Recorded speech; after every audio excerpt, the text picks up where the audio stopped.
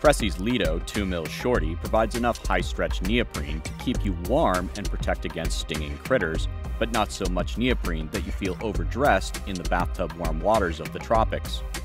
Constructed with comfortable against the skin flat lock stitching, strategically placed stretch panels enhance range of motion, and the full length front zipper makes it easy to climb in and out of the suit. The high collar cradles the back of your neck to minimize water intrusion as you're propelling yourself forward. The women's version, called the Lido Lady, is available in four sizes, extra small to large. Men can choose from six sizes, extra small to double extra large. The bottom line, the Lido Shorty is perfect for swimming, snorkeling, or diving in tropical waters.